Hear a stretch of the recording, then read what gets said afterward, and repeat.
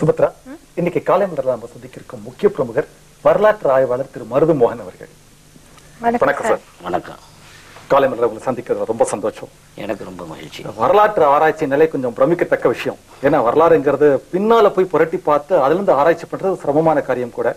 உங்களை பொறுத்த வரைக்கும் இந்த ஆராய்ச்சின்னு பார்க்க போனாக்கா குமரி கண்டத்தை ஆண்ட சேர சோழ பாண்டிய மன்னர்கள் நாயக்கன்மார்கள் நாயக்க மன்னர்கள் அதே மாதிரி பல சுதந்திர போராட்ட வீரர்கள் நிறைய பேரை பத்தி நீங்க ஆராய்ச்சி பண்ணிட்டு இருக்கீங்க. கடந்த முப்பத்தைந்து வருஷமா. இதை பத்திலாம் நிறைய பேசணும் சார்.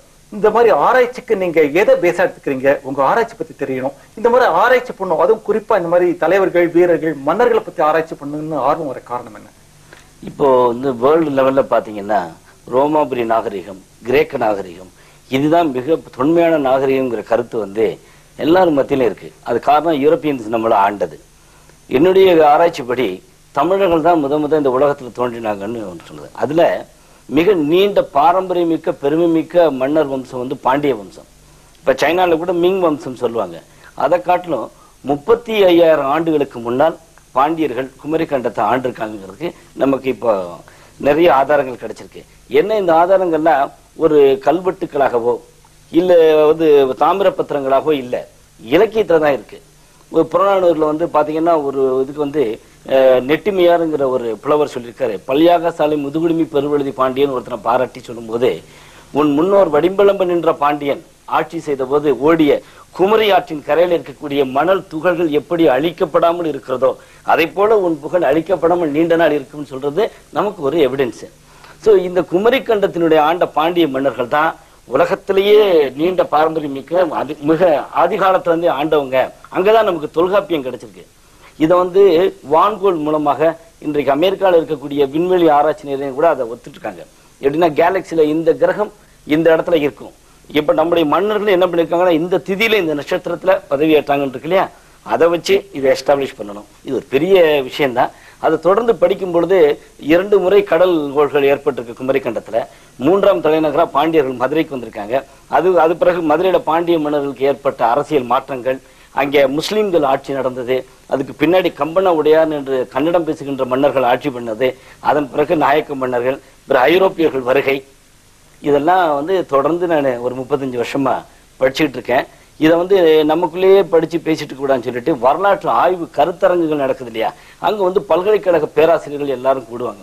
அந்த இடத்துல நம்முடைய கட்டுரைகள் சமர்ப்பிக்கப்படும் போது அதுல தவறுகள் இருந்தால் ஒவ்வொரு பேராசிரியரும் எழுந்து நமக்கு கேள்வி கேட்பாங்க. எந்த ஆதாரத்தோட இப்படி சொல்றீங்கன்னு. இது வரைக்கும் நான் ஒரு ஐந்தாறு கட்டுரைகள் சமர்ப்பிச்சிருக்கேன். யாரும் எந்த எதிர்ப்பும் தெரிவிக்கல. அதுக்கு முழுமையான ஆதாரங்களோட நான் கொடுத்துருக்கேன். ஸோ இதுதான் என்னுடைய ஆராய்ச்சியினுடைய நோக்கம். தமிழர் நாகரிகம் தான் உலகத்துல பழமையான நாகரிகம்னு சொல்றதுக்கு தான் இந்த நோக்கமே என்னுடைய ஆராய்ச்சி நோக்கமே. ஆக்சுவலா தமிழர்களுடைய நாகரிகம் இவ்வளவு பழமையானது நீங்க சொல்றப்போ ரொம்ப பெருமையா இருக்கு. அதே மாதிரி இன்னொரு பெருமையான விஷயம் என்னன்னாக்கா தமிழர்கள் சுதந்திர போராட்டத்துல தங்களை முழுமையா ஈடுபடுத்திட்டாங்கன்னு தெரிஞ்சுக்கிறப்போ இன்னும் பெருமையா இருக்கு இல்லையா சார்? கண்டிப்பா. நான் முதல்ல உங்களுக்கு கேட்ட கேள்விக்கு என்ன சொன்னேன் தமிழர்கள் நாகரிகம் தான் பழமையான நாகரிகம் சொன்னேன். அப்ப நேட்டிவ் ரூலர்ஸ் வந்து இந்த இந்தியாவில் ஏன்னா ஒரு கட்டத்துல பாத்தீங்கன்னா ரிக் வேதத்துல கூட அதுக்கு ஆதாரம் இருக்கு. விந்தியத்தை தாண்டி இன்றைக்கு இருக்கக்கூடிய மத்திய பிரதேசமோ உத்தரப்பிரதேசமோ இல்ல. இமயமலை எல்லா ஆறுகளுமே கடல் கடியில இருந்தது. இன்றைக்கு இருக்கக்கூடிய ராஜஸ்தான் மிகப்பெரிய பாலைவனமாக இருக்கிற காரணமே அது கடல் இருந்தது தான் இதுக்கு ரிக்வேதத்தில் இருக்கு. அப்போ நேட்டிவ் ரூலர்ஸ்னு இது அப்போ வந்து இந்தியா வந்து அஹ், நாவலன் தீவுன்னு அதுக்கு பேரு. தீபகற்பமா இருந்தது அது. இப்போ வந்துட்டு அதுல வந்து நேட்டிவ் ரூலர்ஸாக தமிழர்கள் இருந்தனால ஒரு ஃபாரின் ஏலியன்ஸ் அந்நியர்கள் இந்த நாட்டுக்குள்ள வந்தபோது முதல்ல முதல்ல எதிர்த்து நிற்கணும் அப்படிங்கிற உணர்வு நிச்சயமா தமிழர்களுக்கு தான் வந்திருக்கும். அப்படித்தான் நடந்திருக்கு. அதுபடித்தான் நான் படிச்சிருக்கேன். அதே போல உங்களுடைய ஆராய்ச்சியில இடம்பெற்ற தமிழக சுதந்திர போராட்ட வீரர்களை பத்தி சொல்லுங்களேன். இப்போ நம்ம வந்து டெல்லியில் டெல்லியில வந்து முகலாய பேரரசு ஆட்சியில் இருந்தப்ப அவுரங்கசீப் வந்து தக்கான பீடபூமிக்கு ஒரு நவாபை நியமிக்கிறார். அவங்க தான் ஆர்காட் நவாப் ஃபேமிலி. அந்த ஆர்காட் நவாபுக்கு அவங்க குடும்பத்துக்குள்ள நடந்த பிரச்சனையை தீக்கிறதுக்காகத்தான் நம்ம நாட்டுக்கு வியாபாரத்துக்காக வந்த பிரெஞ்சுக்காரர்களும் பிரிட்டிஷும் மோதுறாங்க. ஆளுக்கு ஒரு அணியை பிரிச்சுட்டு. அதில் பிரிட்டிஷ் ஜெயிச்சிருந்தாங்க ஜெயிச்ச பிறகு ஆர்காட் நவாபிட்ட இருந்து இந்த நாட்டினுடைய வரி வசூலிக்கின்ற உரிமையை ஒரு ஒப்பந்தத்தின் மூலமாக பெறுறாங்க அப்படி பார்க்கும்போது அவங்க எந்த இடத்துல போய் முதல்ல வந்து வரி வசூலிக்கணும் அப்படின்னு நினைக்கும் பொழுது நம்ம தென்னிந்தியாவில் பார்த்தீங்கன்னா அப்போ வந்து இண்டிபெண்டன்ட் கிங்டம்ஸ்னு எடுத்துக்கிட்டீங்கன்னா புதுக்கோட்டை ஆண்ட தொண்டைமான். அவர் ஒரு இண்டிபெண்டன்ட் கிங்டம் டாஞ்சூர் கிங்டம் அது மாதிரி மரவர் மறவர் கிங்டம் என்று சொல்லக்கூடிய ராம்நாட் சிவகங்கை இதெல்லாம் தனித்தின் கிங்டம்ஸாக இருந்துச்சு. இது அப்புறமா பார்த்துக்கலாம்னு சொல்லிட்டு அதிகமாக லேண்ட் ரெவன்யூ நம்ம நாட்டில் வந்து அதிகமாக இருந்தாலும் அது தென்னிந்தியாவில் குறிப்பாக திருநெல்வேலி மாவட்டம் தான் அதிகமான வருமானம் தரக்கூடிய இருந்தது ஸோ அங்கே இருக்கக்கூடிய சின்ன சின்ன பாளையக்காரர்கள் இவர்களாம் நாயக்க மன்னர்களாக நியமிக்கப்பட்டவர்கள். இந்த பாளையக்காரர்கள்ட்ட முதல்ல வரியை வசூலிச்சோம் தான் நமக்கு நல்ல வசதியாக இருக்கும்னு சொல்லி பிரிட்டிஷ் வந்து கிளம்புறாங்க. இது எப்போ கிளம்புறாங்கன்னா செவன்டீன் ஃபிஃப்டி ஒன்ல கிளம்புறாங்க. ஃபிஃப்டி ஒன்ல கிளம்பும்போது திருச்சியிலேருந்து அவங்க படையெடுத்து போகும்போது ஒரு ரெண்டாயிரத்தி ஐநூறு பேர் ஒரு படையெடுத்து போகிறாங்க மணப்பாறையை தாண்டினோடனே அங்கே வந்து முதல்ல மணப்பாறை நாயக்கர் லக்ஷ்மண நாயக்கர் ஒருத்தரை அவங்க திரை- கேட்குறாங்க மாதிரி திரை உடனே அவர் கொடுத்துறாரு. அதன் பிறகு அவங்க வந்து நத்தம் காட்டு வழியாக போகும்போது அந்த பகுதியில் இருக்கிற லோக்கல் மக்கள் வந்து கள்ளர் சேர்ந்தவர் வந்து எதுக்குறாங்க? அவங்க தான் என்ன சொல்கிறாங்கன்னு கேட்டிங்கன்னா அவங்க தான் வானம் பிடிக்கிறது பூமி விளைகிறதுன்னு சொன்னது. ஸோ இந்த கூட்டத்தை இப்போ இப்போதைக்கு நம்ம வார் பண்ண முடியாதுன்னு சொல்லிட்டு அவங்க என்ன பண்ணுறாங்க நேராக சவுத்து திருநெல்வேலி போகிறாங்க அங்க போய் திருநெல்வேலியில் போய் ஒரு சில பாளையக்காரர்கள்ட்ட ஒரு ஒன்றரை லட்சம் ரூபாய் வசூல் பண்ணிட்டு திரும்பி அதே நத்தம் காட்டு வழியாக வரும்பொழுது அவர்கள் வந்து கொள்ளையடிக்கப்படுகிறார்கள். இது அந்நியர்கள். ஏன்னா முத முத நம்ம பகுதி மக்கள் வந்து ஒயிட் பீப்புளை ஃபர்ஸ்ட் டைம் பார்க்குறாங்க. இப்படி ஒரு ஒரு இனமே இருக்குதா? ஏன்னா அப்போ அதிகமான அறிவு இல்லை இல்லை ஜாகிரபிக்கல் நாலேஜ் இல்லாத காலகட்டம். திருப்பி கொள்ளையடிச்சிடறாங்க. இப்போ இனிமே வந்து நம்ம ரொம்ப ஸ்ட்ராங்காக போகணும்னு சொல்லிட்டு செவன்டீன் ஃபிஃப்டி ஃபைவ்ல ஹெரான்கிற தலைமையில் போகிறாங்க போகும்போது அதே ஏரியா கிராஸ் பண்ணும்போது மீண்டும் கான்ஃபிளிக்ட் வருது. கான்ஃப்ளிக்ட் பண்ணி வந்து என்ன பண்றாங்கன்னா நைட்ல கேம்ப் அடிச்சிருக்காங்க. அந்த ஏரியாவில் ஒரு கோவில் இருக்கு. அந்த கோவிலில் நம்முடைய பஞ்சலோக அம்மன் சிலைகள் இருக்குல்ல இது அவங்க பார்த்தது கிடையாது பிரிட்டிஷ் ஏன்னா சின்ன சின்ன சிலையா ரொம்ப அழகா இருக்கு நம்ம வீட்டில் பிள்ளைகள் கொண்டு போய் லண்டனில் கொடுக்கலாம்னு சொல்லிட்டு ஆளாளுக்கு ஒரு சிலையை எடுத்துக்கிறாங்க. இவங்க நம்ம மக்களுக்கு என்னன்னு கேட்டீங்கன்னா நம்முடைய அம்மனெல்லாம் எடுத்துட்டு போறாங்களேன்னு சொல்லிட்டு நல்ல பதினெட்டு அடி ஈட்டி இந்த கிளாடியேட்டர் படத்துல ஈட்டி வச்சு குத்துவாங்க பாருங்க அந்த மாதிரி ஒரு ஐநூறு பேரை குத்திடுறாங்க. இந்த சண்டையெல்லாம் முடிச்சு இந்த இந்த இந்த டீம் எங்க போகுதுன்னு கேட்டீங்கன்னா சவுத்துல போகுது. சவுத்துல வந்து அங்கே ரெண்டு பாளையமா பிரிச்சிருக்காங்க. ஒண்ணு வந்து நாயக்க இன மன்னர்கள்லாம் சேர்ந்து ஒரு பாளையம்.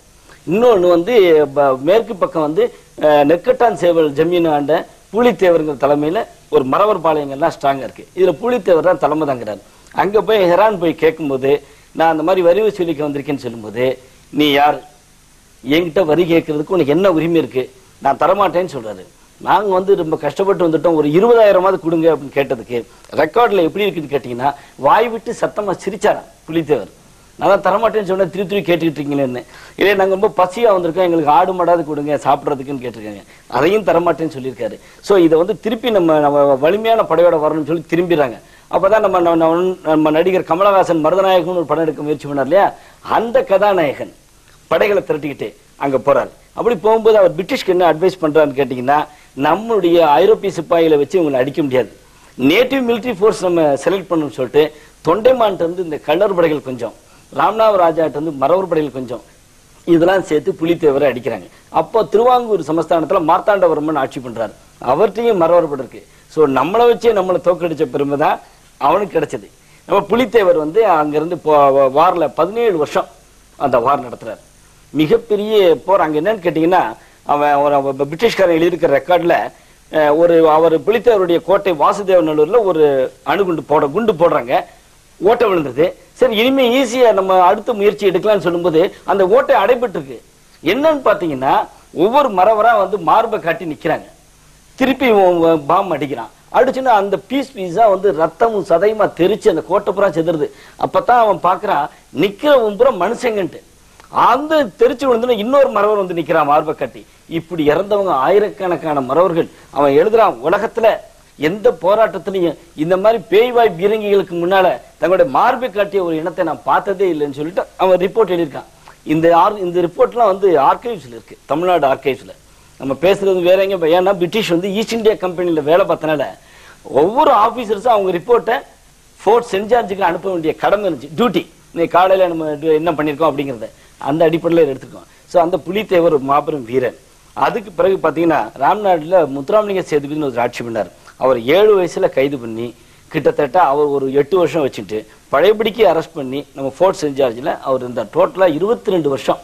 அவரை சிறை தண்டனை அனுபவிச்சார் இதெல்லாம் ஒரு பெருமைமிக்க வரலாறு இல்லையா அதுக்கு பிறகு வடக்கே வடக்கே வந்து ஜான்சன் அணி போராடுறதுக்கு முன்னாடியே ஒரு 75 ஆண்டுகளுக்கு முன்னால் வீரமங்கு வேணுநாச்சியார்னு அவங்க பிரிட்டிஷ் எடுத்து போராடினாங்க.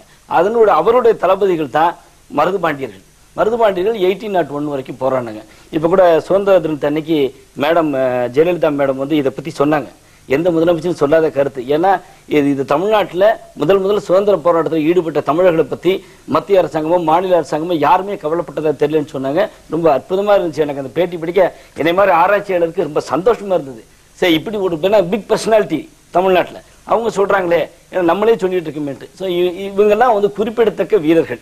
புலித்தேவன் திபல் முத்துராமலிங்க சேதுபதி வேலுநாச்சியார் மருது பாண்டியார். அதில் மருது பாண்டியர் மகன் வந்து நாடு கடத்தப்பட்டான். பதினேழு வயசு மகன். நாடு கடத்தப்பட்டான். நான் யா எந்த ஆபீசர் நாடு கடத்தினானோ அவனை திருப்பி இருபது வருஷம் கழிச்சு அவரை மீட் பண்றான்.